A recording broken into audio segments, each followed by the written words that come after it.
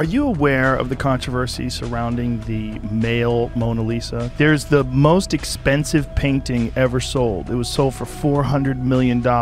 And the crazy thing is, someone bought it at one point in time in the past, I want to say for $1,500. And they didn't realize that it may or may not be, because this is where it gets controversial, may or may not be the work of Leonardo da Vinci.